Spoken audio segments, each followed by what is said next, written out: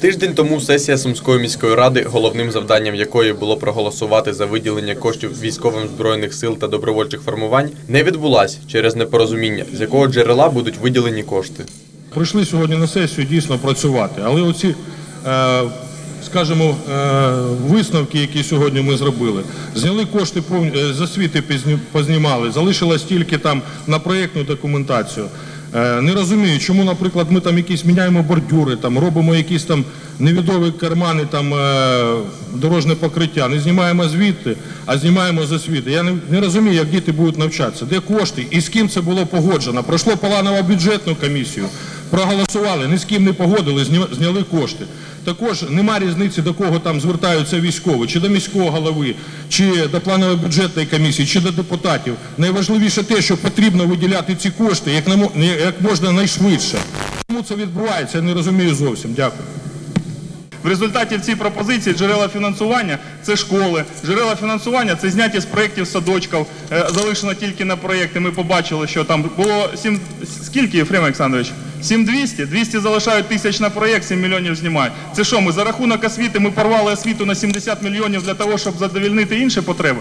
Ну такого не може бути. Так можливо, ви все ж таки виконаєте пропозицію ПБК.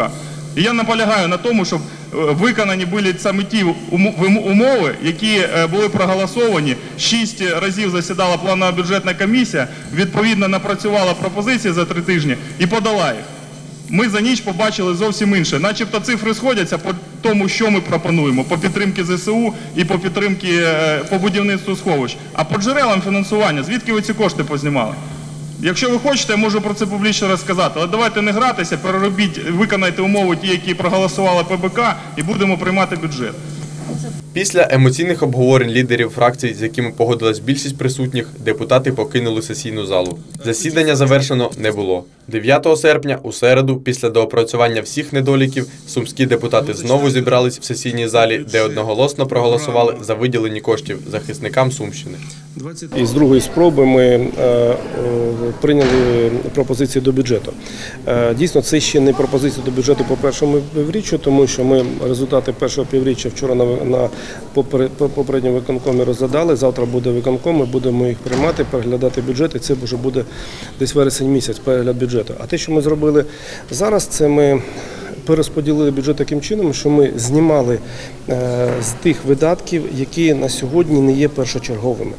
Тому що сьогодні, як і завжди було в минулому році, як на початку року, як ми формували бюджет 2023 року, ми головними е, напрямками своєї діяльності щодо фінансування завжди вважали безпеку, е, оборону, підтримка збройних сил, соціальні програми, підтримка внутрішньопереміщених осіб. Е, Сьогодні ви це побачили ще раз, вкотре.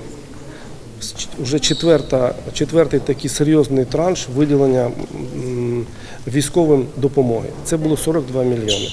Це були е, всі органи правопорядку, всі підрозділи, які до нас звернулися з Збройних сил України. Це добровольчі формування. Другим питанням сесійного засідання стало створення військового ліцею, який має розпочати свою роботу з 1 вересня 2023 року. Що стосується військового ліцею, е, також це питання не з першого, не з першого разу було прийнято, не з першої спроби, вибачаюся, Е, було обговорення, тому що депутати дехто не розумів саме ситуацію, е, чому така ідея і що це буде.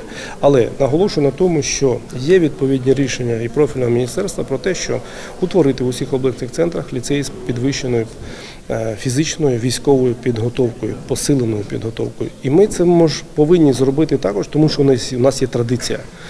У нас був кадетський корпус, раніше у нас було військове училище, у нас є відповідна база. Зрозуміло, що на цій базі, там, де зараз е, знаходиться е, кадетський корпус, там є пошкодження, руйнування Е, після ракетного обстрілу минулорічного, воно е, заклад знаходитися не може. Але ми визначаємося сьогодні з приміщеннями, і головне, що в нас вже є рішення про створення самого ліцею з посиленою військовою підготовкою імені Харитоненка. Резонансним питанням стала передача чотирьох кабінетів першої гімназії 12-й школі. До сесійного залу прийшло близько сотні батьків з обох навчальних закладів.